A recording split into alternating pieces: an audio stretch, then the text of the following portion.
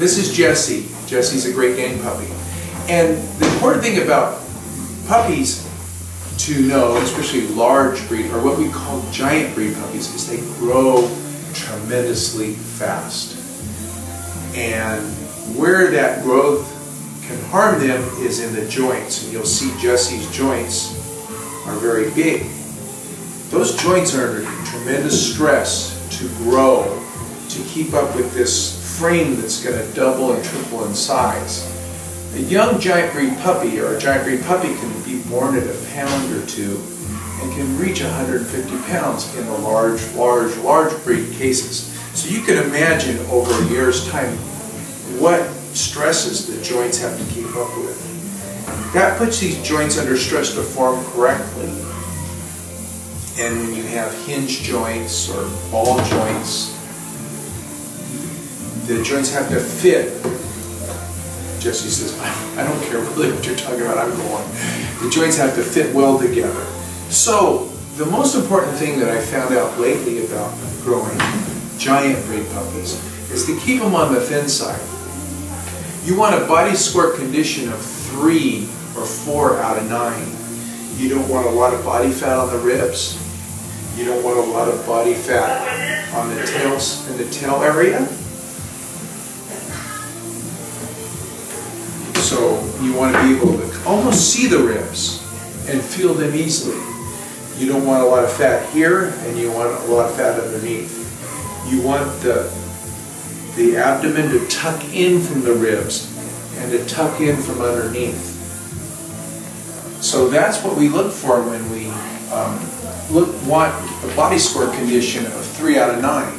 Now, if Jesse, if Jesse can look at the chart, we'll see that a 3 out of 9, this would be 1 would be a very thin dog, almost emaciated, and 9 would be a sausage dog, a very heavy dog.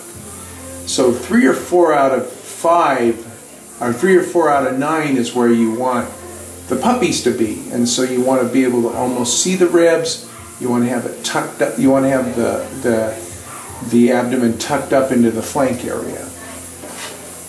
And you can get that chart um, from the Purina, just put body condition system, and a body condition score is what the chart's talking about.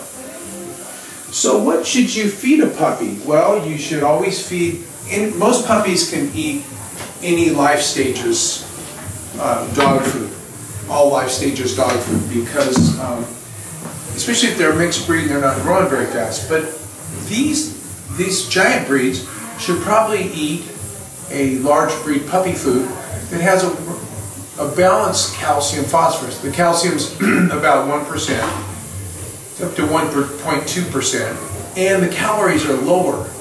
Because the calories, lower calories mean they're not going to grow as fast. And it, less stress on the bones. One of the myths, old myths used to be that protein has to be restricted in these large breed puppies. That's why people fed, instead of the puppy food, they fed adult food and they thought, oh, that's good enough. But what we found is, and the research shows lately, is that the, the diet has to be lower in calcium and lower in calories. And the dogs have to be kept on the, kept on the thin side. And if you want to go online, there's dog food, um, um, dog food advisor has a calcium calculator and they rate different puppy foods, so that's always a good site to go to also. So you always consider feeding your giant breed puppy a giant, a large breed puppy food so you can make sure their joints form correctly. Because if they get arthritis in the wrist or the elbow or the hips, that's a lifetime of pain that they don't need if the, if the weight is kept down and the calcium levels are kept down. Is that good, Jesse? Do you have anything else to add? Huh? I don't think she does. Don't grow too fast and stay skinny. So you look in the, uh, you can go online, Dog Food Advisor. They rate large breed puppy foods and also have all the specifications that you need. Um, you want a, the calcium phosphorus ratio to be right, and you want the percentage of, of calcium to be right, and you want the calories to be low So when you're looking for a, a large breed puppy food, uh, it usually has all those pretty close. But if you want to learn more specifications about it, go to Dog Food Advisor and check out their latest blog. And then if you ever have a chance, you want to find out about uh, curing your dog that has allergies, go to Dog Dish Diet. If you want to even home cook for your dog, I have a few home cooking recipes there.